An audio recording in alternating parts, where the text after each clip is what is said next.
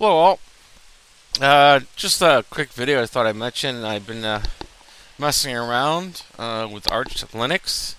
Uh, I have the um, XFCE4 uh, desktop environment uh, running. Um, yeah, I'm using the open source drivers for video. I don't know if they're fully supported yet. Like I have a ATI 6800 HD 6800 um, whatever 68 6870 and uh, for compositing I don't have much in the way of uh, fancy effects but that's okay because I, I want to learn more about this system. I've been messing around with it for quite a while now. Maybe a year year and a half but uh, quite happy with this. The only compositing like I said is if I move oh I turned that off sorry. You go to as you notice up here, I changed this. The, you can customize a lot of this system. Um, that's I put a happy face or whatever. Um, I can't remember where it's under. Windows Manager? Nope. It's one of these here. Nope, nope, nope, nope, nope, nope. Not appearance. Tweaks. Compositor.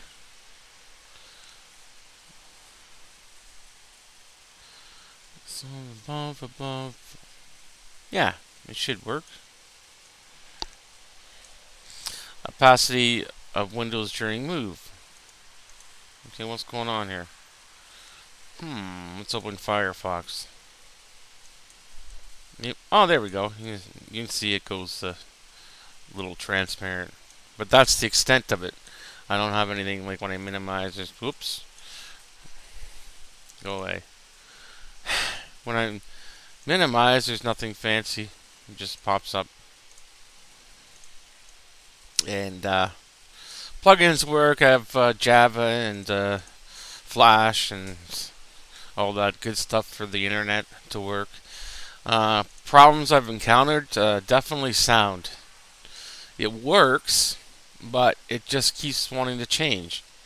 Like the, the PCI and the device numbers changed, and so did the uh, recording devices change.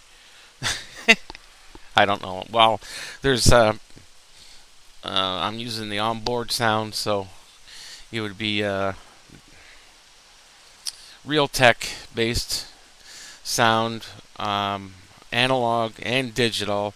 Then there's the ATI card itself that has the HDMI audio and then a webcam has its own audio so maybe that's what's going on. It's getting confused. Um, but that's that's arch linux for you. I mean you learn live and learn and it's you know a great learning tool. And of course i made some custom I, no, I didn't make them i mean i changed the icon set to uh, something different and the theme as well that's changed. I didn't change the background although uh, desktops, and there's quite a few backgrounds in this. Quite a few wallpapers included on um, when you install XFCE.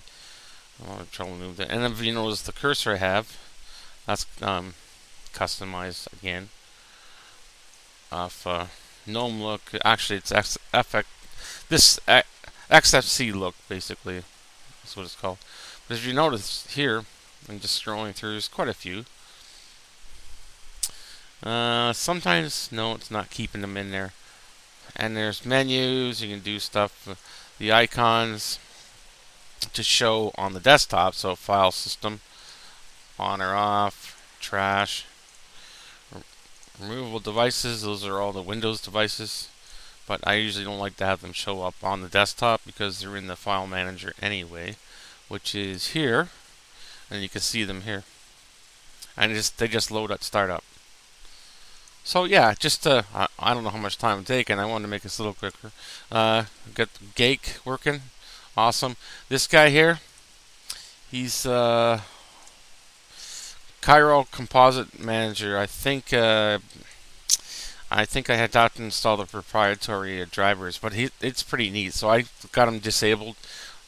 I've got the composite desktop disabled because it just lagged behind, and it's not it's the program's fault. It's, it's uh, the fact I don't have the accelerated drivers installed. But like I said, it's running fine. And yeah, you can just add whatever you want up here. And I've seen other people's desktops; they're just awesome looking. So yeah, uh, just a quick look at uh, what I've been doing in the Linux world, and uh, yeah, this is pretty good. It's fast, I'll tell you that. It's really fast. Okay, thanks for watching, and uh, have a good day. Talk to you later.